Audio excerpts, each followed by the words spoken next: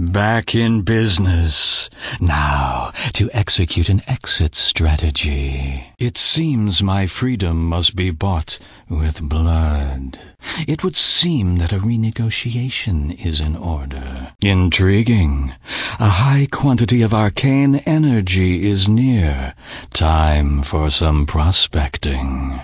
The air teems with latent energy. Quite the harvest.